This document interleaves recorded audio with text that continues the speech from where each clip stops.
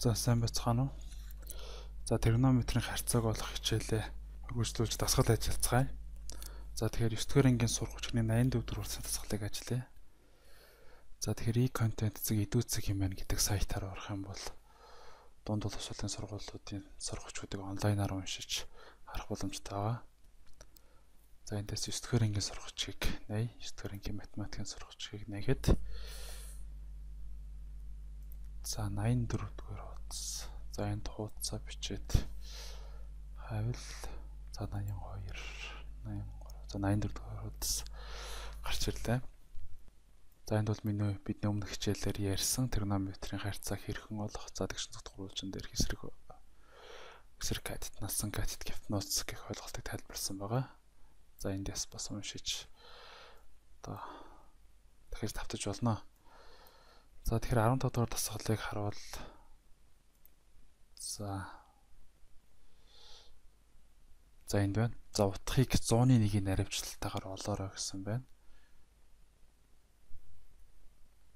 За эндээс. За эхний бодлогыг бодъё.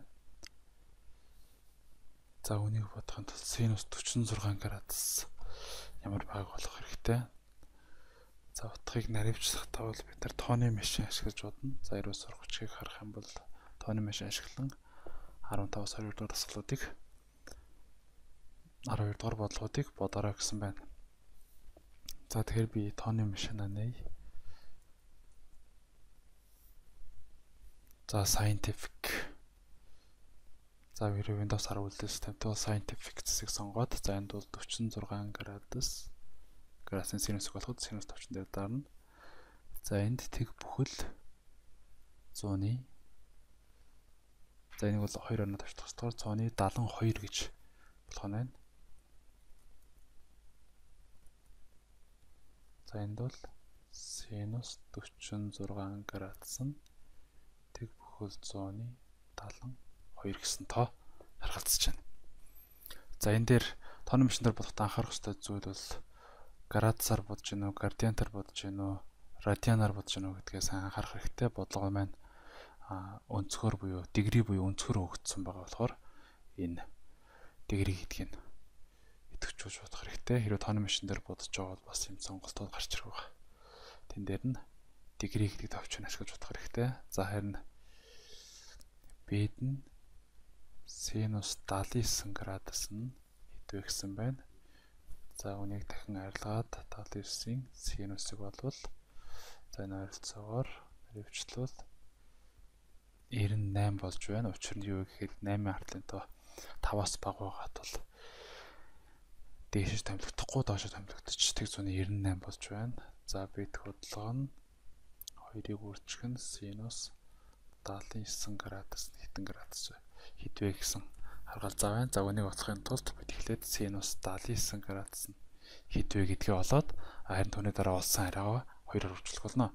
За тэгэхээр бид синус 79 гэж хэлтэнэ олцсон.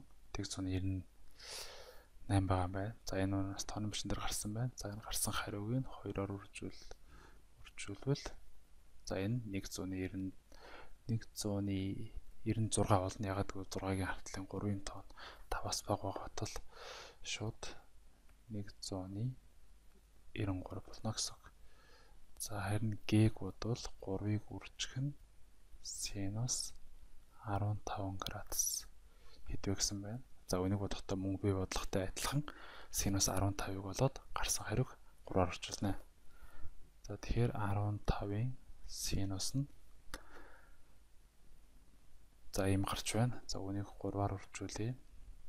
За 3-аар үржүүлвэл ийм тоо гарч байна. За энэ таслаас хойш 2 орноо наривчлах хэрэгтэй. За 3 дахь 26 буюу 5-аас их байгаа тул хариу нь энэ тоон 100-ны орно нэгээр нэмэгдэж тэг 100-ны 78 болж байна.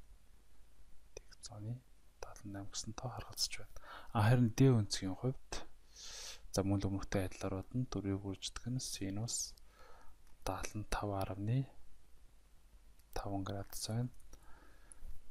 За 75.5 градусын синусыг болвол ийм гарч байгаа бөгөөд үүнийг дөрөөр үржүүлвэл